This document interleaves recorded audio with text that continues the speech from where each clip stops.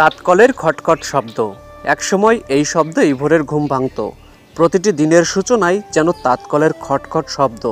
ভোরের সূর্য ওঠার সাথে সাথে কর্মব্যস্ত হয়ে পড়ত তাঁতশিল্পীরা।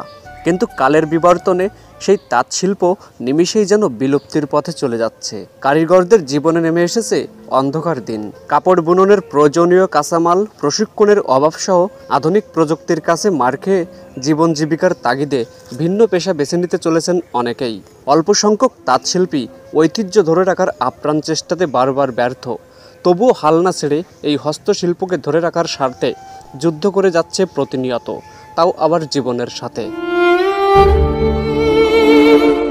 প্রতিদিন সাত থেকে আট ঘণ্টা কাজ করলে পারিশ্রমিক আসে দেড়শো থেকে দুইশো টাকা। বর্তমান প্রেক্ষাপটে এই পারিশ্রমিকে টিকে থাকা কতটা মুশকিল ভেবে দেখুন একবার। তাদের মুখের দিকে তাকালে বোঝাই যায় অন্তরে কতটা ব্যথা, তারা এই জীবন যুদ্ধে কতটা অসহায়। তেমনই অসহায়ত্ব বরণ করে নিয়েছেন প্রাচীন ঐতিহ্যে ঘেরা প্রিয় যশোরের তাঁতি সম্প্রদায়ের লোকজন। বর্তমানে তাদের কর্ম অবস্থা ও জীবন বৃত্তান্ত জানার জন্য আমি ছুটে যাই যশোরের মনিরামপুর উপজেলার চোদ্দ নম্বর দুর্বডাঙ্গা ইউনিয়নের পাড়ালা গ্রামে। মনিরামপুর উপজেলার বিভিন্ন গ্রামে আনুমানিক আশি হাজার তাঁতি সম্প্রদায়ের লোকের বসবাস। এদের মধ্যে উল্লেখ্য ভরতপুর, মুজগুনি এবং পাড়ালা গ্রাম। কালের পরিক্রমায় অনেকেই ছেড়েছেন পেশা। অল্প সংখ্যক হস্তচালিত তাঁতশিল্প এখনও টিকে আছে। জানে না এরাও কতদিন থাকবে।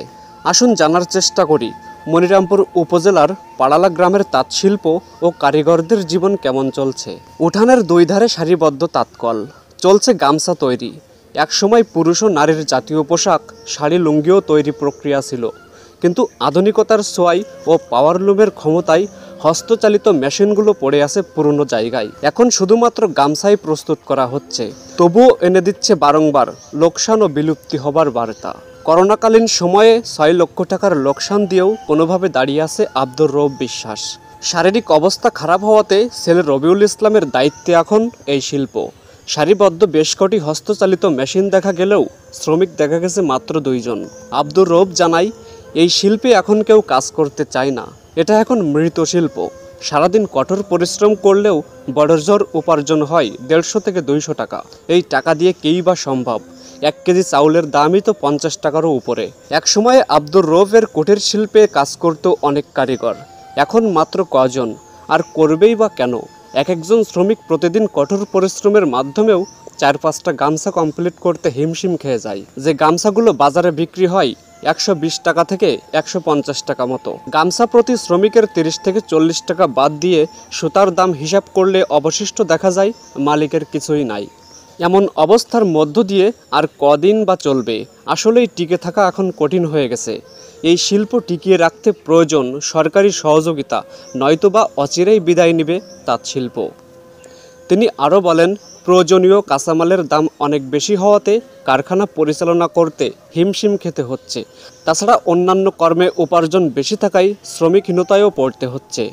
উঠানের পশ্চিম পাশেও পড়ে আছে অনেক তাৎকল সেখানেও অনেক লোকসানের গল্প। এক সময়ের ব্যস্ত কলগুলো ভেঙে চুরে গেছে। এক একটা কল যেন শুধুই স্মৃতি। এক একটা কল যেন মৃত্যুর দুয়ারে পৌঁছে। সব মিলিয়েই ভালো নেই হস্তচালিত তাঁতশিল্পর মালিক ও শ্রমিকেরা।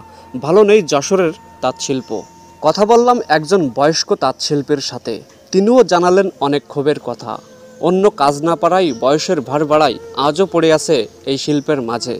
তিনি আরও বলেন আনুমানিক পঞ্চাশ বছর ধরে এই শিল্পের সাথে জড়িত। হয়তোবা জন্মই হয়েছিল এই শিল্প চর্চার দায়ে। এখন ঠিক মতো চলতে পারি না। এই কাজ ছাড়া উপায় নাই। মুরব্বীর ইনকামের ব্যাপারে জানতে চাইলে তিনি বলেন, আগের মতো এখন আর হাত চলে না। সারাদিনে তিন চারটা গামছা, বোনায়ন অনেক টাফ। গামছা প্রতি তিরিশ থেকে চল্লিশ টাকা করে আসে। ওই কোনো রকমভাবে চলছে জীবন। বাংলাদেশের সবচেয়ে প্রাচীন হস্তশিল্পের মধ্যে তাঁতশিল্পই প্রধান। আনুমানিক পাঁচশো বছরেরও বেশি সময় ধরে যুগের সাথে প্রতিনিয়ত লড়াই করে এগিয়ে এসেছে এই শিল্প। বর্তমানে যুগের সাথে সমানে চলতে না পেরে অনেক তাঁতশিল্পী ভুলে গিয়েছে তার অতীতের কর্মগন্তব্য। হারিয়ে ফেলেছে বাপদাদার রেখে যাওয়া স্মৃতি জড়িত তাঁতকলের ঠিকানা। এই পেশায় এখন ভাত নেই, জিনিসপত্রের যে দাম এমন মন্তব্যে ও ব্যথাভরা অন্তর থেকে অনেক কিছুই শোনালেন তারা। ফেলে আসা প্রিয় গন্তব্যে অনেকেই ফিরতে চাই তবে ডিজিটাল কলকবজির ভিড়ে ইচ্ছে থাকা সত্ত্বেও আপডেট হওয়া সম্ভব নয়, কেননা এই চিন্তাভাবনা মানেই টাকা পয়সার প্রয়োজন। তারই ধারাবাহিকতায় ধুলো আর ময়লা জমাট বেঁধেছে দেশীয় এই হস্তচালিত তাঁতকলে। পুরনো পেশায় ফিরতে হলে দরকার হবে সরকারি সহযোগিতা, উন্নত মেশিন চালান প্রশিক্ষণ এবং অল্প সুদে ক্ষুদ্র ঋণের ব্যবস্থা। হয়তোবা সরকারি সহযোগিতার মাধ্যমে ঘুরে দাঁড়াতে পারে বিলুপ্তপ্রায় তাঁত শিল্প। আর এই শিল্প দ্বারা উজ্জীবিত হবে আরেক ধাপ প্রাণের বাংলাদেশ। ভিডিওটি দেখার জন্য আপনাকে অনেক ধন্যবাদ।